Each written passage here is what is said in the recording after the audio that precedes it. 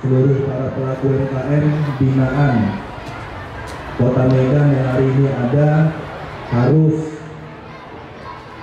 harus minimal 5 sampai 10 persen dari binaan yang ada dari Medan harus tahun ini harus bisa menembus pasar ekspor. Nah ini kalau ini dari pemerintah Kota Medan terus berupaya untuk menjadikan uh, ibu-ibu kita mama kita di sini sebagai pahlawan ekonomi Kota Medan dalam beberapa kondisi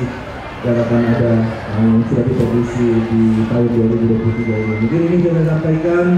terima kasih kepada Bang Arya dan seluruh jajaran BUMN, kepada ibu-ibu tetap semangat kita menggerakkan ekonomi di Kota Medan sebagai tumpuan dari